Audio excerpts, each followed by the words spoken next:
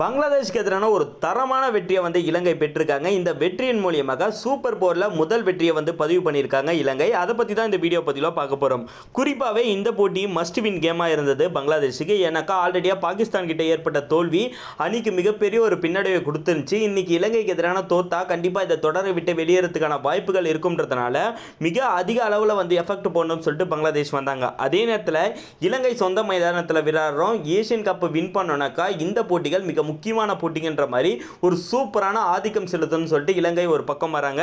இந்த நேரத்தில் பதும் நிஷங்காவும் கருணரத்னேவும் வந்து முதல்ல வந்து பேட் பண்ணியிருப்பாங்க. கர்ணரத்னே பதினெட்டு ரன்கள் அடிக்கும்போது அவர் வந்து பார்த்தீங்கன்னா தன்னோட விக்கெட்டை இழந்திருப்பார். அதன் பிறகு வந்து பதும் நிஷங்கா ஒரு சூப்பரான பார்ட்னர்ஷிப் குசால் மெண்டிஸோட இணைஞ்சிருப்பார்.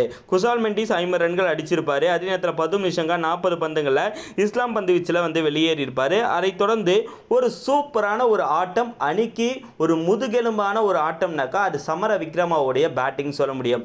இலங்கை அணிக்கு ஒரு நம்பிக்கை விதையாக வந்து சமர விக்ரமா ஆட்டத்தோட மிகப்பெரிய ஒரு முதிர்ச்சி தெரிஞ்சிச்சுன்னு சொல்ல முடியும். எழுபத்தி ரெண்டு பந்துகள் மட்டுமே பேஸ் பண்ணி தொண்ணூற்றி மூணு ரன்கள் அடிச்சிருப்பாரு. கிட்டத்தட்ட அதிரடியாக ப்ளே பண்ணியிருப்பார். எட்டு ஃபோரையும் ரெண்டு சிக்ஸையும் அடிச்சிருப்பாரு.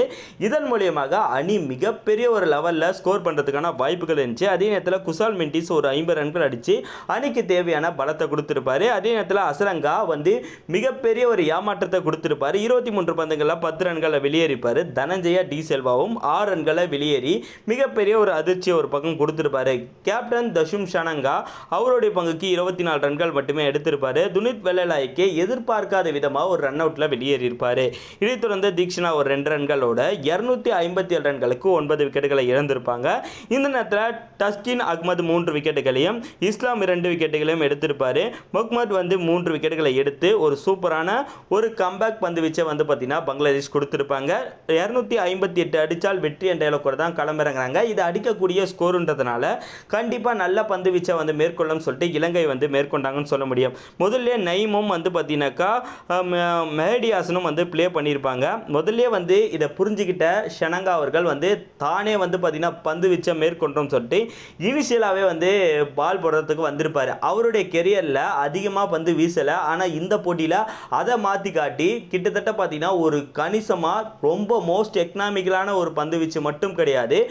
நல்ல குரூசியலான விக்கெட்டுகளையும் எடுத்து கொடுத்துருப்பாரு. நைமை வந்து இருபத்தி ஒரு ரன்களை வெளியேற்றும் போது மேடியாசனை இருபத்தி எட்டு ரன்களை வெளியேற்றிருப்பார். அதைத் தொடர்ந்து வந்து பார்த்தீங்கன்னாக்கா இந்த பக்கம் சபி சகிப் அல்லாசனை பொறுத்த வரைக்கும் ஒரு சூப்பரான ஒரு பந்து வீச்சில் மூன்று ரன்களை வெளியேற்றிருப்பார் பதிரனா. அதன் பிறகு லித்தன் தாஸை வந்து பார்த்தீங்கன்னா துனித் வெள்ளலாய்க்கே வந்து விக்கெட்டை எடுத்திருப்பார். அதன் பிறகு ஒரு பார்ட்னர்ஷிப் டெவலப் ஆகிருக்கும் ஒரு சூப்பரான அதிரடியான ஒரு பார்ட்னர்ஷிப் டெவலப் ஆச்சு. ஏன்னாக்கா வந்து பார்த்தீங்கன்னாக்கா டுவெட் ஹேடியும் வந்து எண்பத்தி ரெண்டு ரன்கள் அடித்து அணிகோட ஸ்கோரை வந்து பலப்படுத்தியிருந்தார். அந்த நேரத்தில் வந்து பார்த்தீங்கன்னாக்கா இந்த பக்கம் ரஹீமும் வந்து பார்ட்னர்ஷிப்புக்கு உதவியாக இருந்தார். ரஹீமோட விக்கெட்டை வந்து ஷனங்கா அவர்கள் எடுத்திருப்பார். அதன் பிறகு வந்து அணி மிகப்பெரிய ஒரு பின்னடைவை சந்திச்சிருப்பாங்க.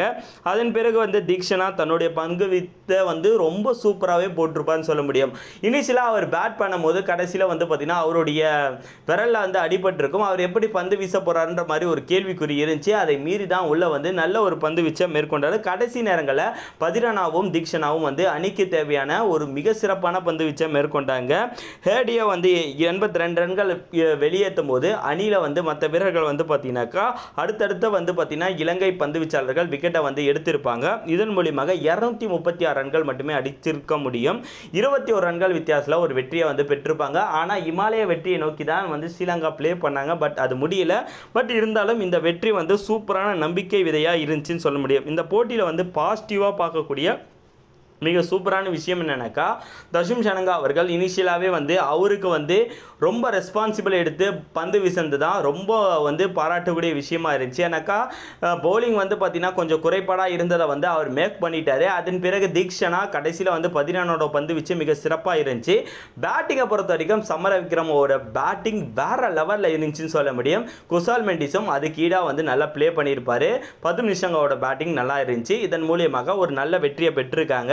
அடுத்ததாக ரொம்ப பெரிய போட்டிகள் இந்தியா பாகிஸ்தான் இடையில இருக்கு. உங்களை பொறுத்த வரைக்கும் இலங்கை நல்ல ஃபார்மில் இருந்து ரெண்டு போட்டிகளில் ஒரு மஸ்ட் வின் கேமாக ஒரு கேமை வந்து பார்த்தீங்கன்னாக்கா வின் பண்ணாலும் ஒரு வாய்ப்பு இருக்கு. உங்களை பொறுத்த வரைக்கும் அடுத்த ரெண்டு போட்டிகளை இலங்கையால் ஒரு சூப்பரான அசுதல் வெற்றியை பெற முடியுமான்றதை கீழே இருக்க கமெண்ட் செக்ஷனில் கமெண்ட் பண்ணுங்க.